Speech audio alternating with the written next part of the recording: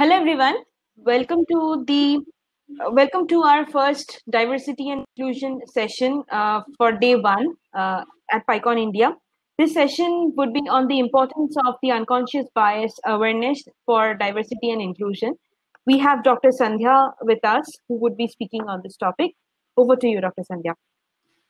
Uh, thank you so much, uh, Sukanya. So, I'm very happy to talk this evening about uh, the importance of unconscious bias.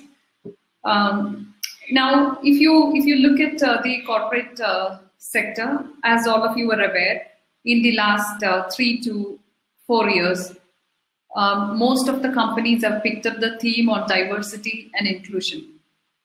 And uh, so, one of the initiatives when an organization uh, gets into the uh, bandwagon of diversity and inclusion, so one of the major activities that they take up is bringing in awareness into unconscious bias into the organization. So um, now this is this is a very very important topic because they cannot do this as a corporate. Uh, it cannot be done as a one-off program uh, because if you do it as a one-off program and people are going to forget about it and we get back into the way we used to be doing things and we don't want it. So this is an ongoing initiative that organizations take up and they drive it across the organization, across multiple teams and with different individuals on a very, very regular basis. The bringing in an awareness into unconscious bias. So I'm very happy that I've got to speak on the uh, unconscious bias today. So as we speak on this, uh, the, the most important thing when we learn uh, about uh, bias, especially unconscious bias, is that it's the way the brains are um, programmed.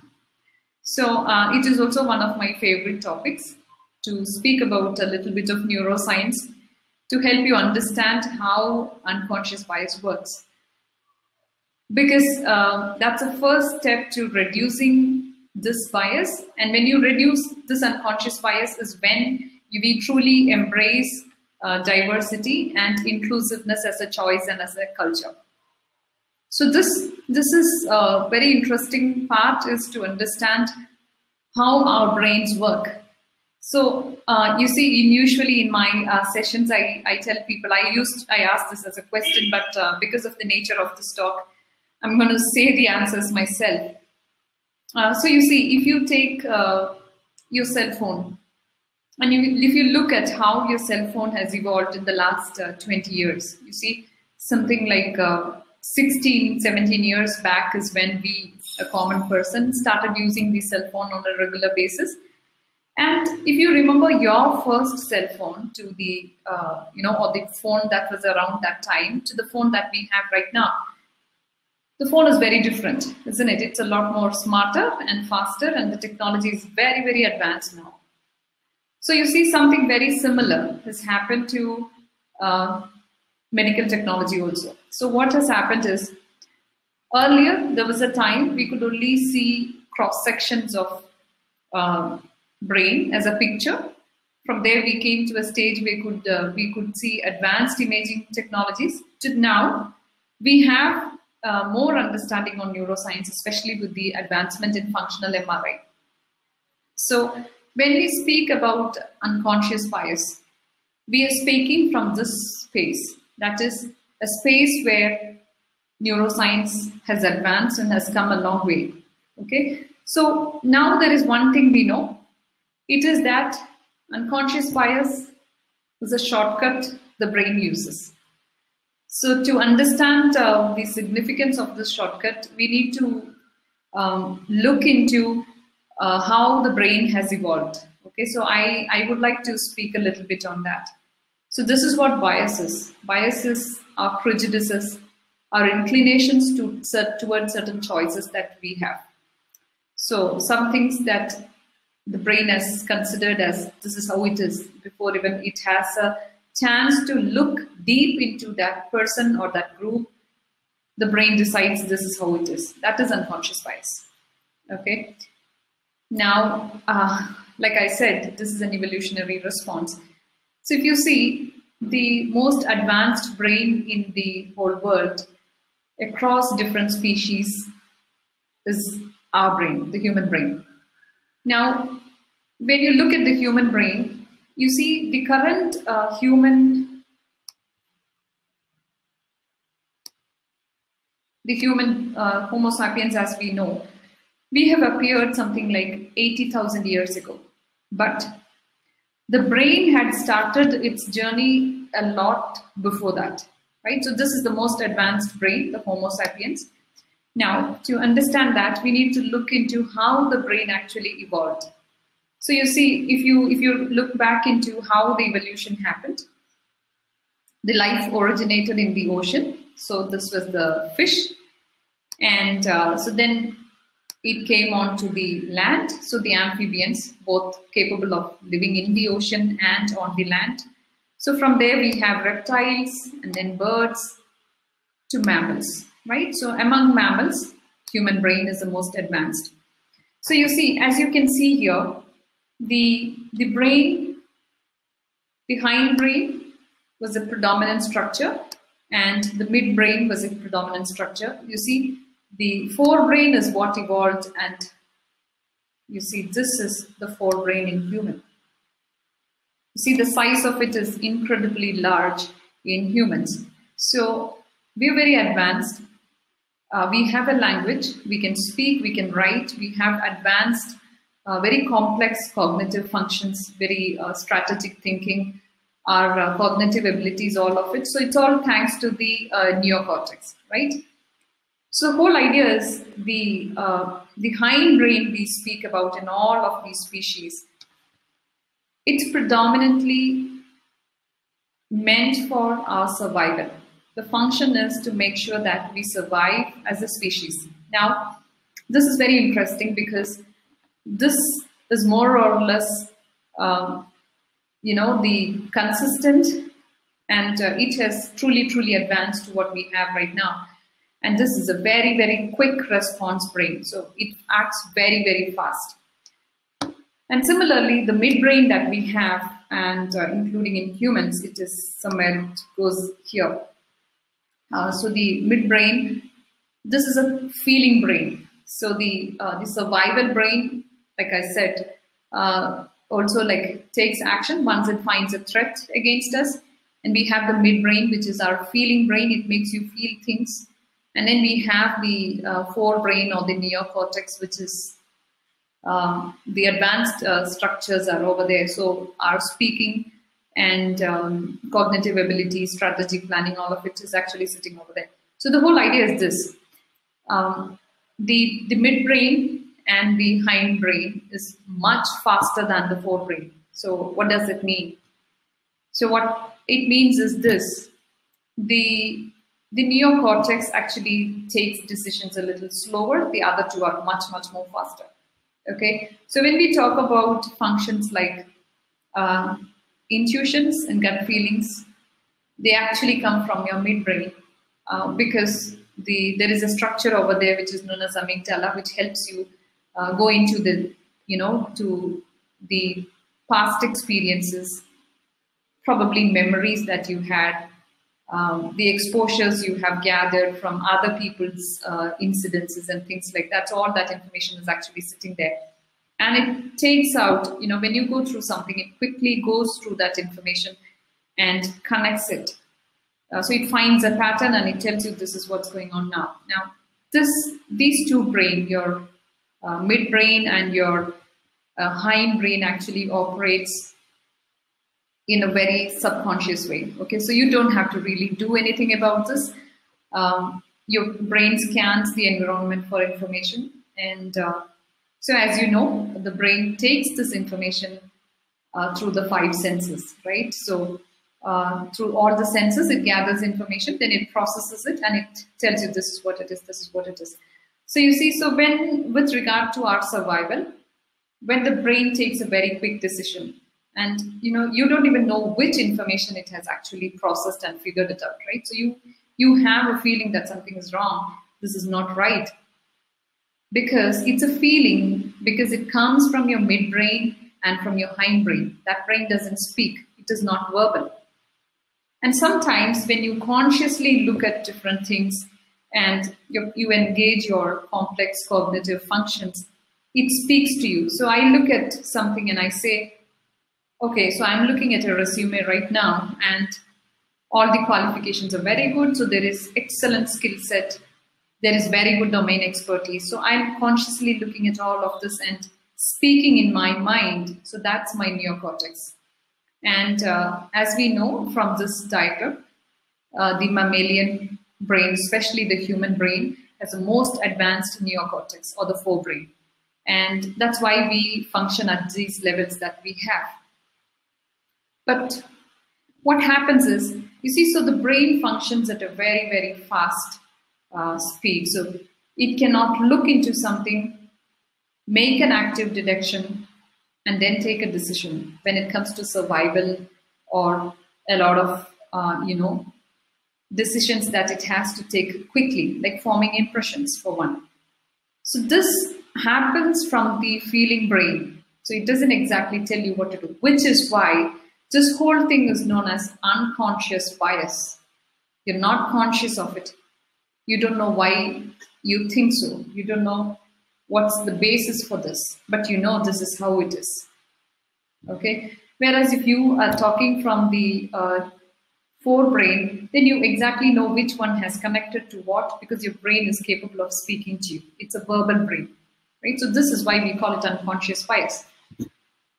Now, the good part of unconscious bias is that now that I have told you there is something like this, and next time you come across something that we are going to discuss, you will remember this. You will remember this conversation and you will remember, okay, so this is an unconscious bias. My brain is being biased right now. So bringing awareness is what helps in organizations bringing diverse group and including all of those people and having inclusiveness as a culture. So which is why we've spent all of this time talking about how the brain evolved and how the brain functions. So like I was telling, when we look at the different um, uh, biases, what happens is the way we function, the way our experiences have formed us, especially the cultural practices, uh, what is happening in the society around us, and the way we are brought up, and all of this has given a lot of information into the brain, and the brain has gathered all that information. And like I said, when it has to do something now new, it looks at the older experiences and everything that we have. It gathers a pattern which is similar to what we are looking at now, and it runs a simulation as to, so what's going to happen here? So this is how the brain functions. So it looks at the previous experiences, exposures, the cultural uh, learnings that you have had, and all that memory which is stored in your brain, especially your feeling brain, right?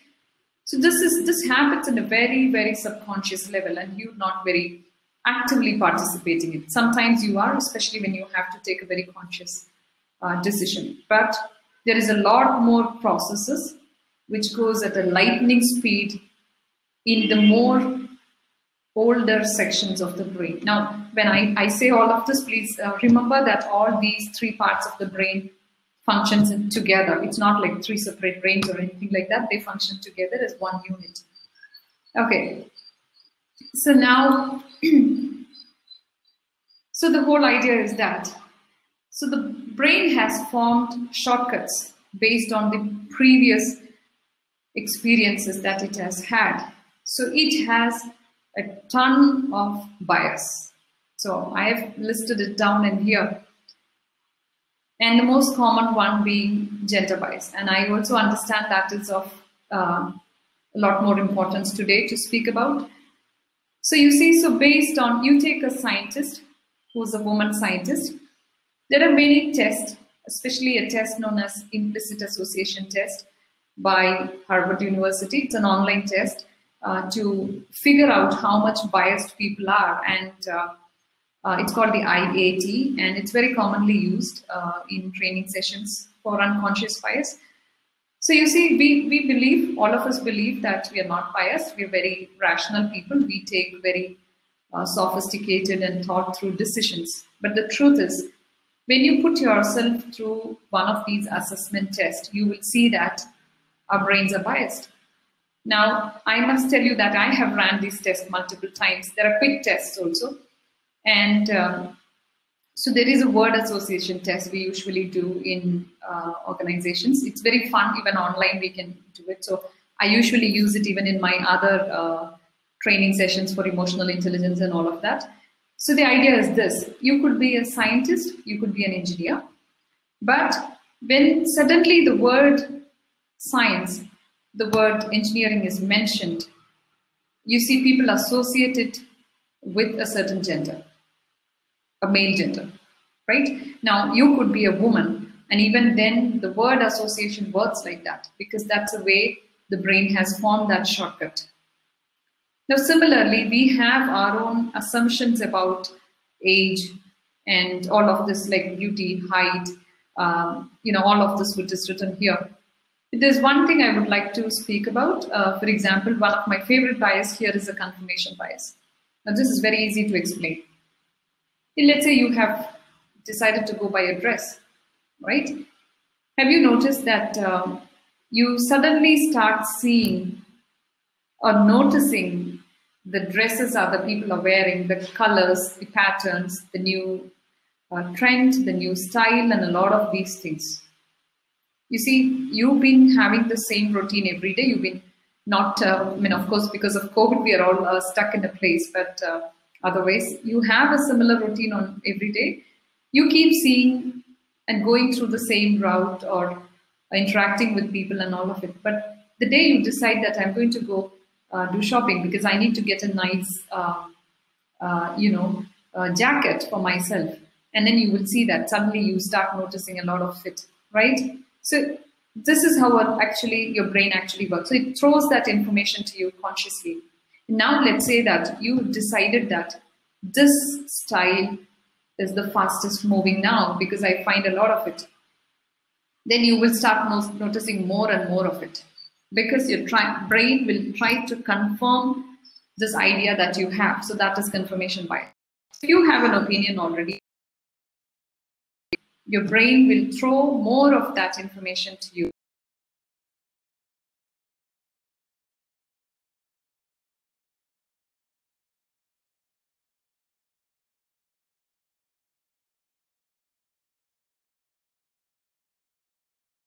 So if you look at one person and if you feel one of their characteristic predominantly is very good, he comes to work early or she is late to leave, you know, which is a good thing if you think that's a good thing, or you find something which is not good about them, like they come to work late.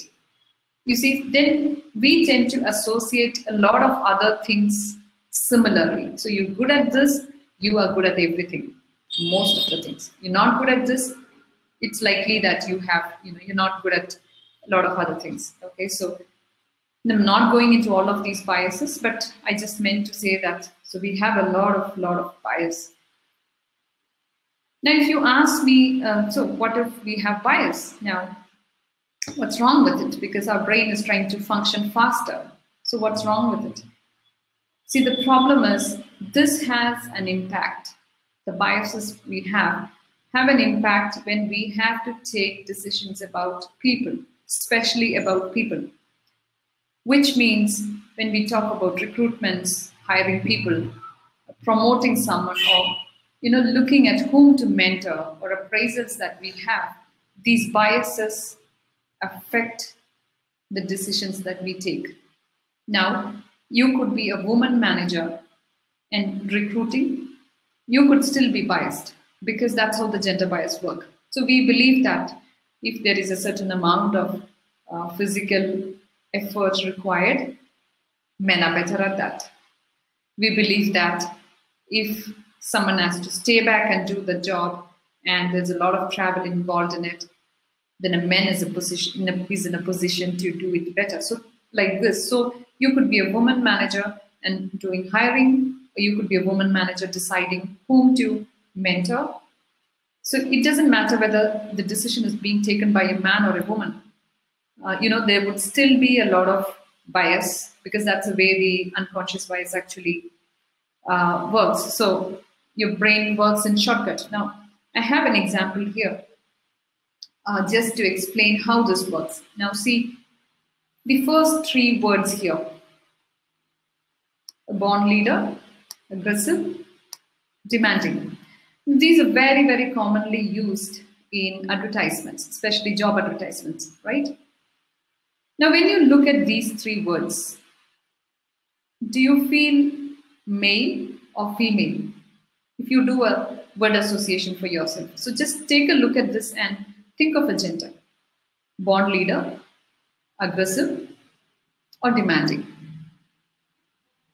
You see something like 52 or 60% of the women also associate these words with male characteristics. Okay, like this. These are some of the words women, uh, you know, if you write in a resume, it's assumed fair, nice, and supportive. Women mostly tend to use these words. And when a resume has these words, fair, nice, and supportive, it's assumed to be of gender female. Now, you see, a lot of us are very aware of it because the very famous book, Harry Potter series, right? So it's a book that actually brought back a reading habit into a whole generation of people, and we're very fond of that book. So J.K. Rowling, why is her name J.K. Rowling? Why did she choose not to write her first name there? Why did she choose J.K. Rowling? Because, and she says that in the um, interviews that she has done, she says that uh, the reason the first time my book got, uh, you know, uh, rejected so many times, and instead of writing her real name, which is Joanne, he decided that she's a publisher also suggested that she writes a name as J.K. Rowling, so it is perceived as male, and therefore it is perceived as very serious writing and a good book. So you see, so this is how human brain works. So we know that J.K. Rowling went on to be billionaire and made a lot of success with her books and movies, right? So this is how the unconscious bias works. So you take a book, you look at the author, and then we subconsciously tend to decide, okay, this is the quality of the book, this is how it is. So now, now the big question is, what do we do about it? So we have unconscious bias. Now we know that we have unconscious bias. What can I do about it? So the the most important step and the one which is predominantly being used by organizations also is to bring awareness right? So now that i have told you all of this i mean even though this is a very short conversation you're going to remember these things and that helps when you have to take a decision tomorrow. So if if the manager, male or female, um, you know, when they are in a position to make a hiring, um, make a promotion, or in appraisals or mentoring decisions, you see, so they can actually correct the words. The way when we are writing job advertisements, we can choose the words correctly, neutral words probably, or make sure that there are equal amount of uh, gender suggestive words in the advertisement we have used, or we don't mislead that particular advertisement by using these kind of words that usually use in uh, advertisements for jobs.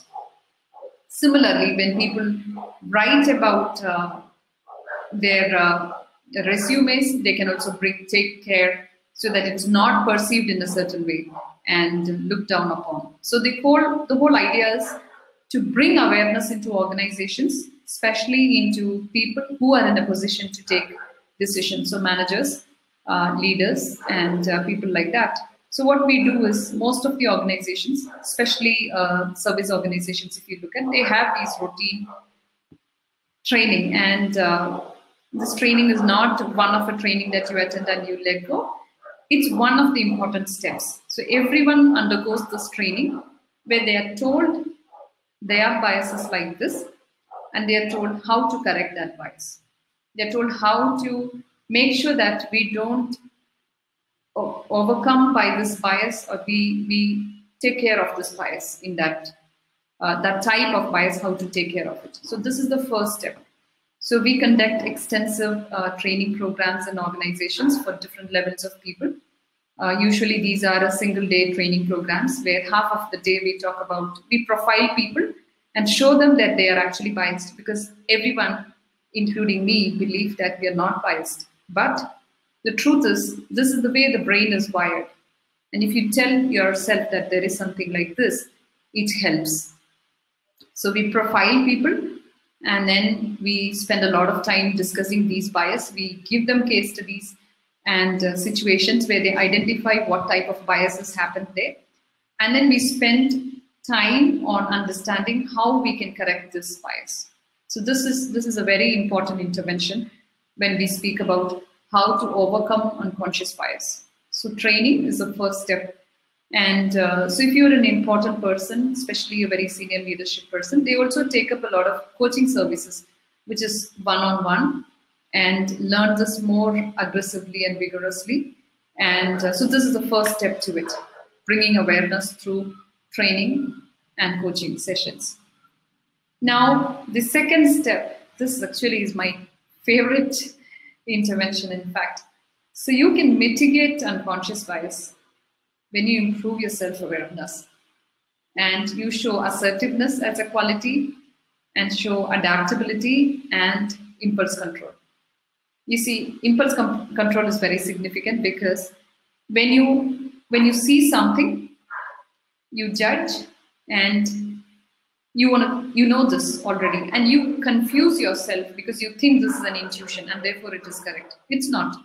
If you give it time you really look into that intuition and then you realize oh no this was not an intuition per se. This was a bias because i was in a haste and i wanted to close it off. So that was a, that's where we exercise self-awareness and impulse control. So this is where, when we speak about unconscious bias, it is important to make sure that our managers and leaders have a good element of emotional quotient because when we work on increasing the emotional intelligence in people, that brings a lot more awareness into unconscious bias because the person improves in these four qualities. Being self aware, being a lot more assertive and uh, learning to adapt to situations and being impulse control. Now, if we if we look at uh, working on emotional intelligence for organization, as you might be aware, many organizations do take up this also as a as a program and uh, widely with people, with teams. We work on it, and there are organizations in India where we've been working with them for something like eight years plus and these two becomes, whereas uh, diversity and inclusion as a theme is relatively, I would say relatively newer with, compared to uh, emotional intelligence as an intervention. So they, they work on these and effectively once you you know run these programs so many times with so many groups of people and team after team after team and department after department you see we come to the theme of diversity and inclusion because when you overcome or at least mitigate your unconscious bias, that's when you can embrace diversity. That's when you can truly achieve diversity because people have more clarity in taking decisions and they have more quality or better quality decisions. Now, once they have that, work is very easy. We can do inclusiveness as a choice. Anybody can give you a diverse team. Your challenge as a manager is to make sure that there is inclusiveness. If you have a diverse group, especially people who come from heterogeneous backgrounds and all of this, uh, you know, different genders, different generations these days, age groups, and all of that, regions, and all of this. You see, it's a very heterogeneous group. And the one reality is that there's going to be a lot of conflict there because of the differences. And as a manager, as a leader, the major challenge is to go is to make sure that there is inclusiveness within that group. So he needs to or she needs to learn as a leader how to bring in inclusiveness. So the one thing the manager can actually do is to make sure that they are aware of their own unconscious bias. And when you become aware of your unconscious bias, you learn how to take better decisions and how to bring in true inclusiveness into the group. and you learn to look beyond these biases we have, beyond that face that we actually see, and look into the capabilities, the skill sets, and domain expertise that people have. So these these are uh, some of the interventions, or the most two most important interventions according to me. And in my experience, what I have seen is once we tell people, we bring in awareness, and then we tell people how they can influence these biases or how they can manage these uh, uh, biases and mitigate these problems. Then half of the problem is actually taken care of. And then all we have to do is give them continued support till they have learned this as a part of their routine. They have internalized that uh, learning, and we make sure that we have other systems and procedures in place within the corporate and organization to make sure that uh, this learning is carried on. It doesn't get dropped off and it gets carried on. And we make sure that uh, people who show good inclusiveness culture, the groups which show good inclusiveness, uh, get rewarded for that, or they are in various ways. I'm not uh, talking about tangible rewards, but uh, that is being done into a case studies in many many organizations and goes in the newsletters and we speak about it and we bring in more and more awareness. See, the team has done it successfully. Why can't we all do it? So such good examples being modeled after. So all of this actually helps in reducing unconscious bias and this is something we need to uh, embrace both in a individual level and also as an organization, as a, as a group. So as an individual, you learn unconscious bias and you learn to overcome it. And as an organization, the organization supports this individual in the journey to mitigate and remove this unconscious bias to any extent that we can and reward people who are capable of doing it. So this is the the good thing about uh, bringing in awareness into unconscious bias because it's easy to put a heterogeneous team together. You bring in diversity when you do that. But the real challenge is in enabling the manager or the leader on making that team into an inclusive team, making everybody feel home and have a lot of wellness in that workplace. So mentally, emotionally, they're taken care of and they feel their productivity going better because they truly feel inclusive in that workplace and they give you more productivity and become a lot more effective in their work. If you have a team which has problems and conflicts because everyone is different and there is a lot of diversity, diversity will be achieved, but inclusiveness will not be. And achieving inclusiveness is actually the more challenging part of it. So to embrace that, the best thing to do is do a lot of uh, programs on unconscious bias, show people how brains are biased. So they take tests and they understand it for themselves. Usually I see that uh, people get truly surprised when they see their bias scores. So we keep saying I'm not biased. Being a woman, I'm not biased about uh, gender uh, or uh, being of a certain age, I'm not biased about uh, generations, cross generational uh, people, about cross generational communication. But when we actually take the implicit association test, we will be very, very uh, surprised on how an individual brain works. So the truth is, the brain has formed this uh, shortcut and to be aware of it. And then in the next step, learn uh, what can actually be done to overcome this. So uh, this is what I wanted to talk to you about uh, tonight. And um, well, thank you so much. Here are my details. Uh, over to you, Suganya. Thank you, Dr. Sandhya. It was an insightful session. Uh, folks, if you have any questions, you can post it in the chat. I have one for you. sure. Yeah. yeah. So, uh, in the society or in a world that we live in like you told about many programs that are being consciously taken by service industries or as a matter of fact any industry to to educate their uh, employees about the potential uh, i mean potential dangers of unconscious bias right? But then um, okay now that's the industry sector. And those who are pursuing those training they get to identify those implicit association that you were talking about right? But Yeah. in case uh, an organization is not pursuing that right? And if someone has to convey their seniors especially that you are being unconsciously biased Okay. in a more gentle manner. So how is it how can it be done? It, i mean given that we live in a very orthodox society till date